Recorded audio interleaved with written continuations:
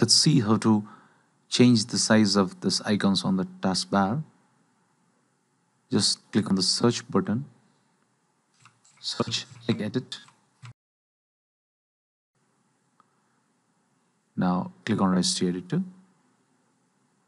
Once this registry editor opens up, you have to go to this path, HKEY current user, software, Microsoft Windows, current version, Explorer Advanced. I've pasted this path in the description of the video given below. You can directly copy that path from there. Just paste it in the address bar of the registry editor. Now once you reach here, on the right side, right click and choose new dot 32 bit value and name it flash r si just make sure this is already not present here. Okay? Now double click on it.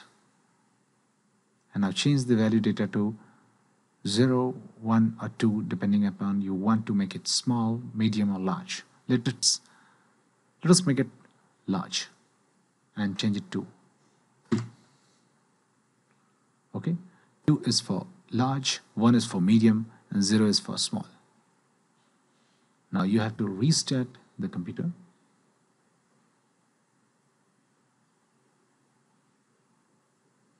Now you can see the size of the icons are very large. Similarly, if you want to change it again, just go to that same location in the registry editor and change it back to zero.